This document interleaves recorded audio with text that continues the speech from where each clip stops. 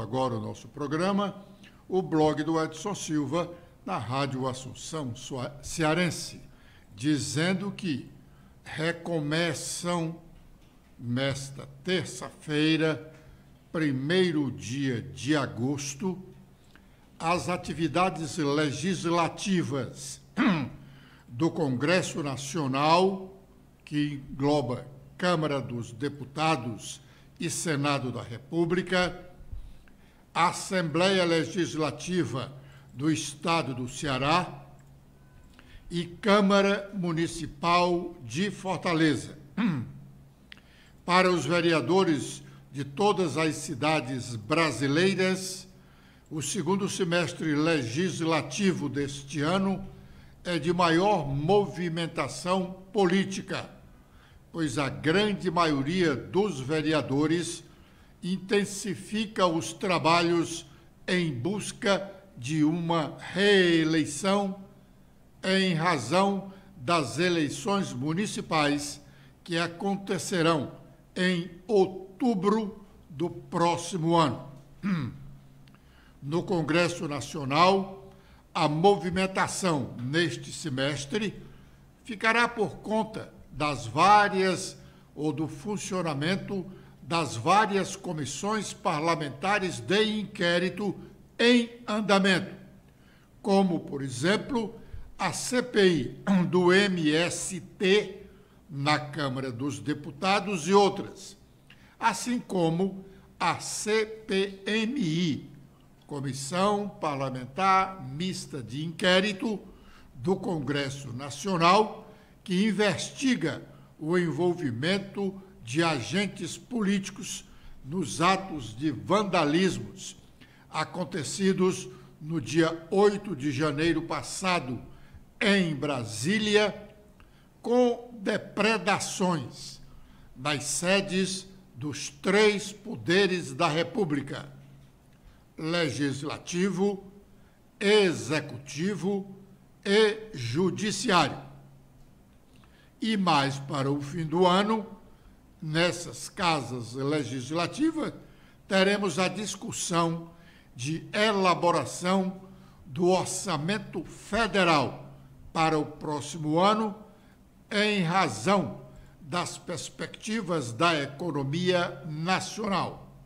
Aliás, orçamento também é o centro, ou será o centro da discussão em todos os legislativos estaduais e municipais, pois os orçamentos terão que estar aprovados até o último dia deste ano, para entrar em vigor no dia 1 de 2024.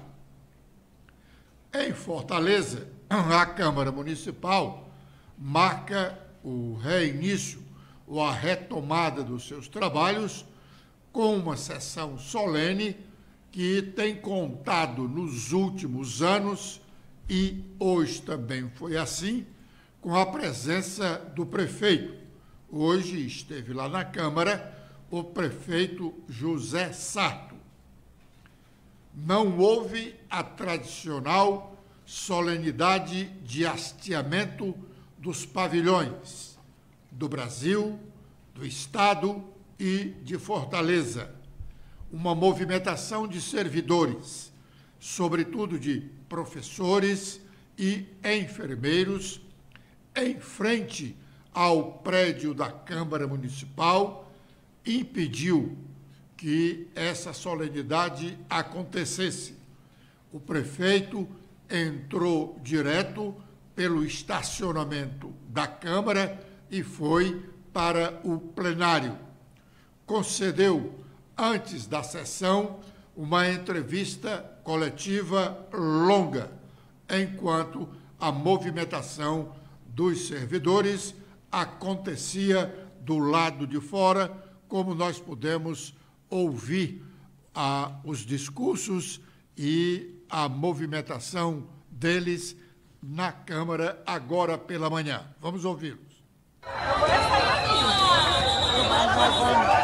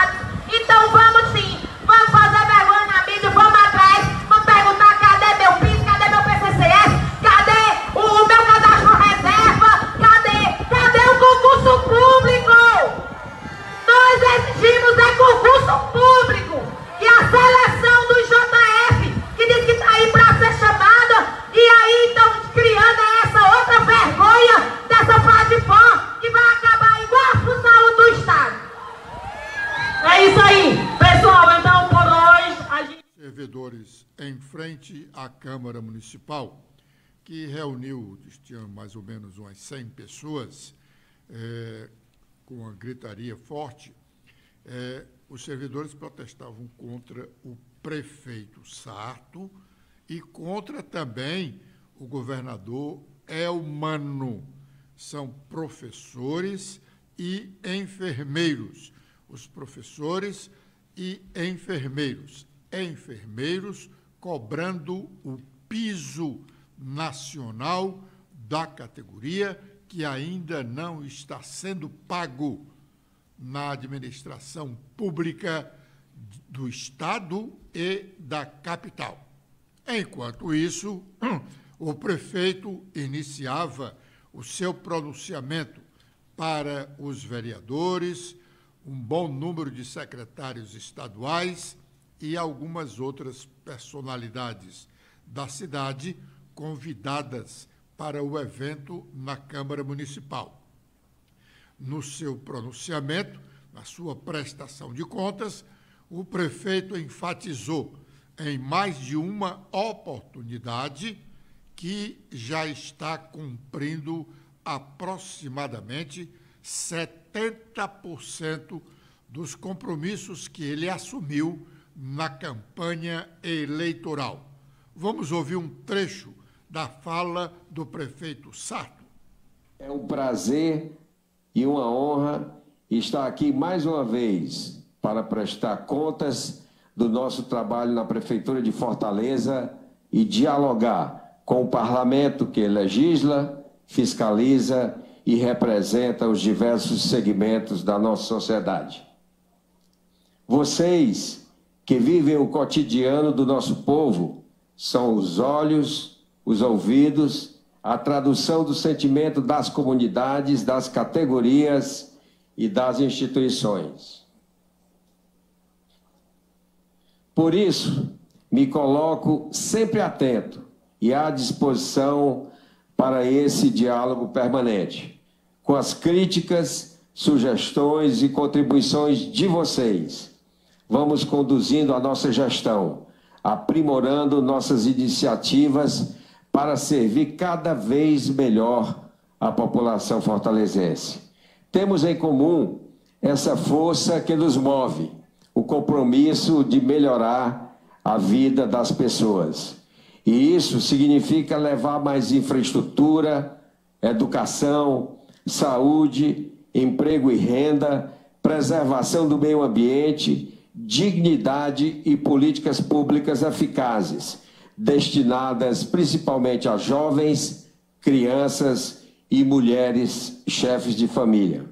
Senhoras e senhores, desde o início da nossa gestão, nesses dois anos e sete meses, temos trabalhado forte para cumprir o compromisso que assumimos com Fortaleza.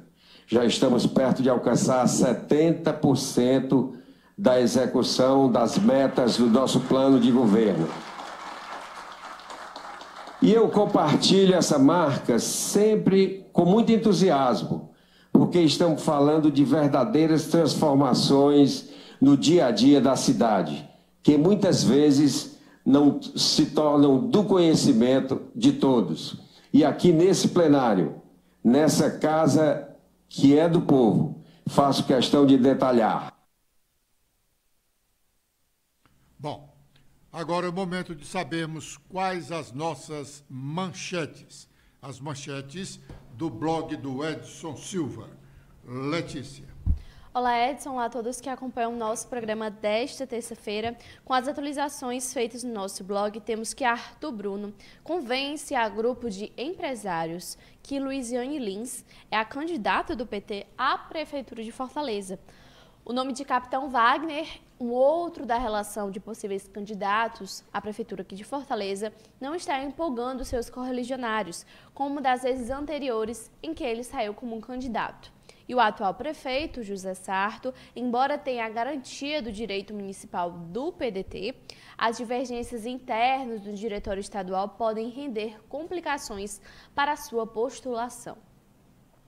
Também temos que na Assembleia a oposição espera que o secretário de Obras Públicas do Estado preste esclarecimento sobre denúncias. No ano passado, em pleno período eleitoral, a Superintendência de Obras Públicas foi alvo de mandado de busca e apreensão de documentos referente aos contratos e convênios do Estado com os municípios cearenses. A ação da PF, da Polícia Federal, foi feita a pedido do Tribunal Regional Eleitoral aqui do Ceará. Também temos que o Brasil e a Arábia Saudita participam de fórum para investimentos mútuos. Segundo o vice-presidente Geraldo Alckmin, outro destaque é o arcabouço fiscal, que dá uma garantia do ponto de vista fiscal e de que a relação entre a dívida e o PIB vai se estabilizar e a partir do próximo ano começa a cair com superávites primários, além do desenvolvimento com sustentabilidade aqui no país.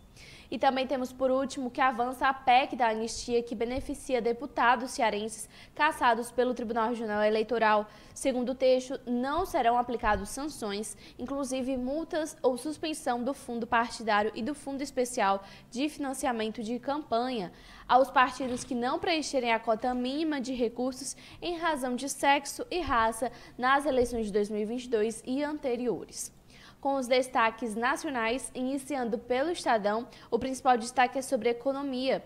O governo precisa de 100 bilhões de reais extras neste segundo semestre para zerar rombo em 2024.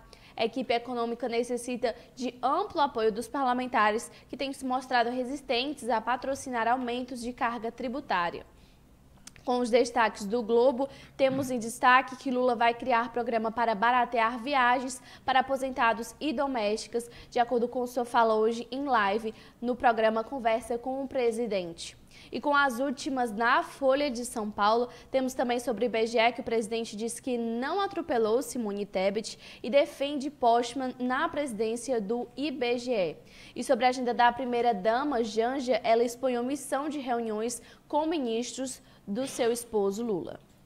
Bom, ainda sobre a live do presidente Lula, na manhã desta terça-feira, ele voltou a falar sobre a sua relação política, a relação política do seu governo com o Centrão, comandado pelo presidente da Câmara, o deputado Arthur Lira. Aliás, esta relação está é, trazendo um certo constrangimento a alguns petistas e parece que ao próprio presidente Lula, porque ele já falou nessa relação em mais de uma oportunidade. Vamos ouvir o que ele disse desta vez. E você sabe que às vezes a imprensa contribui para o bem ou contribui para o mal. Por exemplo, no caso da Lava Jato, apenas voltar nesse assunto, como um grande setor da imprensa se deixou enganar pelo Moro e pelo Ministério Público, eles não têm coragem de reconhecer que se enganaram. Então eles vão continuar contando a mesma história com a maior disfarçatez do mundo. Não tem problema. Mas eu vejo um noticiário todo dia e eu vejo que as pessoas falam que eu fiz, que eu não fiz. Às vezes as pessoas inventam conversa que não teve. E quando as pessoas não têm o que falar, a pessoa fala, segundo fonte, segundo uma pessoa, sabe, ao redor do Lula, o. Sabe? Olha, se não tem informação, diga que não, que não tem, tem, informação. Uhum. Veja, a minha relação com o Congresso é a melhor possível. E eu não vou fazer simplesmente a política dando que se recebe, como alguns pensam. Eu vou fazer um acordo político de governabilidade para esse país. Eu tenho que governar esse país até dia 31 de dezembro de 2026. Eu quero entregar esse país pronto, esse país crescendo, o povo feliz, o povo ganhando mais, sabe, o povo mais, mais, mais, mais otimista do que nunca. E eu tenho que compor as forças políticas que votem as coisas que nós queremos mandar para o Congresso, sabe, de interesse do Brasil. E eu não posso fazer relação com os democratas americanos, com os sociais-democratas alemães, tem que fazer com o Brasil. Então eu vou conversar com os partidos. E também eu não converso com o Centrão. O Centrão, para mim, é uma construção, sabe, uh, teórica. O que existe são os partidos é, políticos. É, pessoas e partidos. E eu vou conversar com os partidos, vou conversar com os presidentes do partido e vou tentar compor para que tenha tranquilidade nesse país. Eu estou convencido pelas conversas que eu tenho tido, inclusive com o presidente Lírio, com o presidente Pacheco, do Senado e da Câmara, de que as coisas vão ser votadas naturalmente de acordo com o tempo do Congresso Nacional. Não é de acordo com o meu tempo, é de acordo com o tempo dele. E a gente vai construir aquilo que o povo brasileiro precisa. Bom, sempre a imprensa. O presidente disse que a imprensa fala, fala demais, inventa coisa, não inventa não. Quando não tem é, uma informação, diz segundo a fonte o próprio presidente, sem dúvida, já foi utilizado inúmeras vezes como com essa expressão, segundo a fonte. Por quê? Porque eles, políticos, todos eles, dão informações e algumas dessas informações eles pedem para evitar a citação do nome da fonte. Como nós jornalistas, muitos de nós temos realmente credibilidade, as pessoas nos respeitam muito, têm muita consideração com uma boa parte dos jornalistas. Então, nós podemos nos dar o luxo de dizer a verdade, dizendo segundo a fonte. Segundo uma fonte, agora há pouco, lá na Câmara Municipal de Fortaleza, essa fonte, muito ligada à deputada federal Luiziane Lins, me dizia: não, ela é candidata, ela é candidata. E não aceita, não, não, não precisa falar agora, mas vai chegar o momento que ela vai falar. Não aceita essa, esse burburinho de alguns petistas falando em candidatura a prefeito de Fortaleza pelo PT, que não seja do PT raiz. É assim, presidente Lula. Está acontecendo agora, na abertura do Congresso Nacional, a sessão de instalação das sessões ordinárias, extraordinárias e especiais do Legislativo ainda não foi instalada, mas o Congresso já está funcionando e, como está funcionando, a Comissão Parlamentar Mista de Inquérito iniciou os seus trabalhos deste segundo semestre, pouco depois das nove horas, ouvindo, desta vez, o depoimento do ex-diretor da Agência Brasileira de Inteligência, a ABIN, o órgão responsável pela segurança do presidente, seus familiares e os próprios da presidência da República. O ex-diretor é o Saulo Moura, que está sendo indagado ainda pela senadora Elisiane, Elisiângela Gama, que é a relatora da CPI. Vamos ouvir um trecho do depoimento. Da Polícia Militar do DF.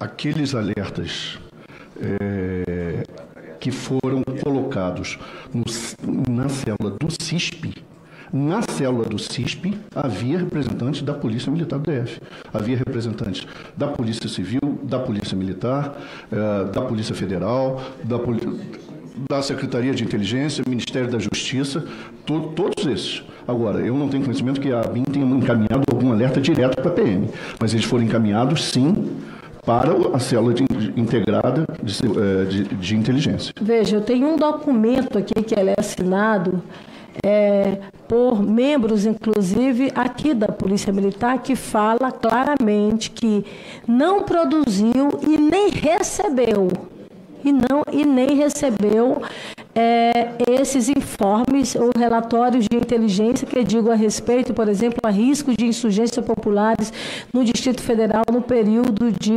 2023, de janeiro de 2023. Mais uma vez, relatórios de inteligência, realmente nós não mandamos nenhum.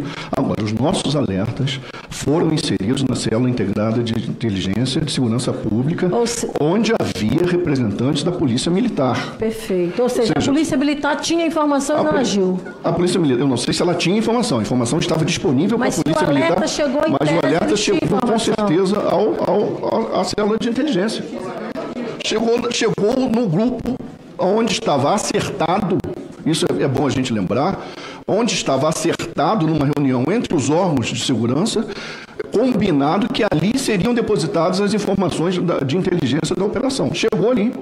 Certo? Então, se a Polícia Militar diz que não recebeu, é porque o, servidor que estava lá disse que não recebeu. Agora, ele, todos os órgãos que ali estão teriam obrigação de tomarem conhecimento daquelas informações.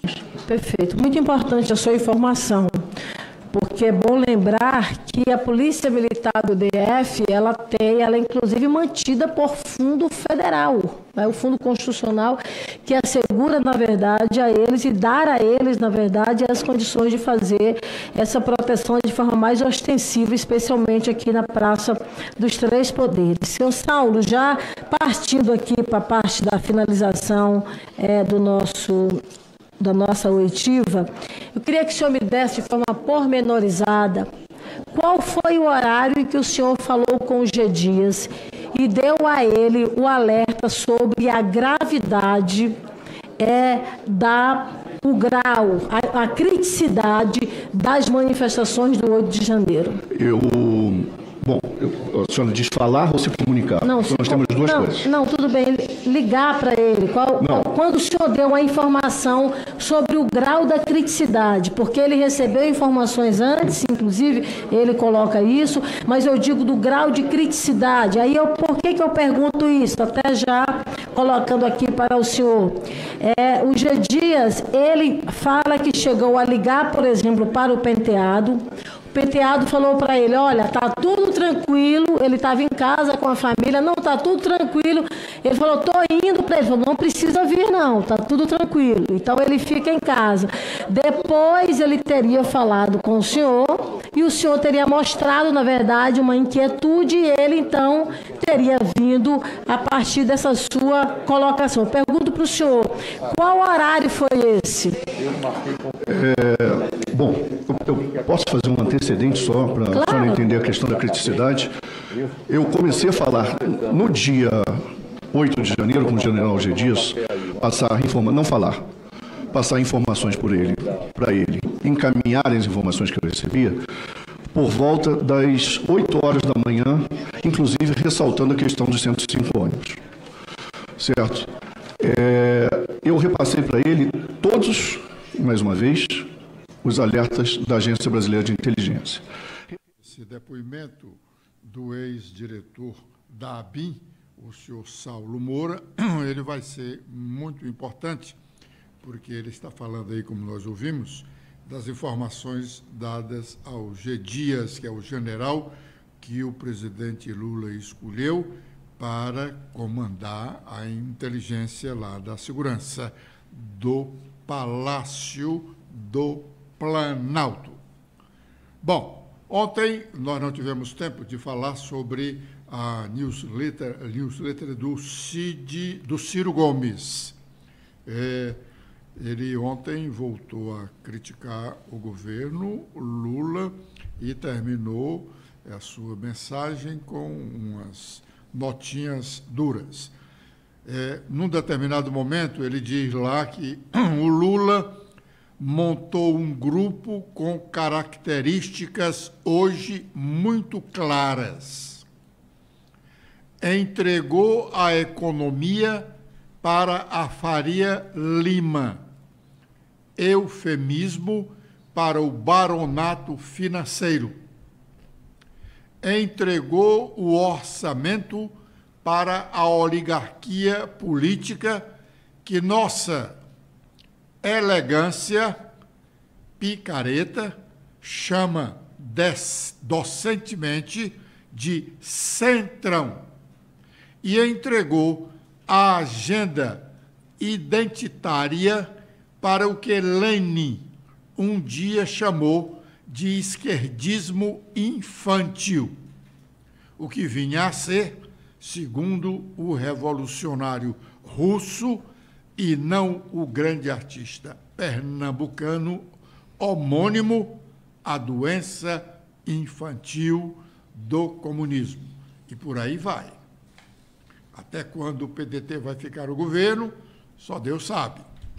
E ele termina é, dizendo: Lula começou. Dois pontos. Bolsonaro é titica. Bolsonaro responde. Dois pontos. Lula é jumento. Lula replicou. Dois pontos. Comparar Bolsonaro com o jumento ofende o jegue. Aí abre aspas, diz: adaptei para resumo. Que briga é essa, gente? Indaga. Faz sentido o presidente da República puxar e manter acesa esta briga com o ex-presidente do Brasil, já declarado inelegível pelo TSE? Que termos são estes? Volta a indagar. Que nível de disputa é esse? Descuido? Rancor incontido? Baixaria casual? Não. São dois espertalhões constrangendo uma nação inteira a escolher eternamente entre um e outro. E vai por aí. É, as manifestações do Ciro têm sido cada dia mais fortes contra o governo Lula, onde está lá como ministro da Previdência Social o presidente nacional do PDT, Carlos Lupe.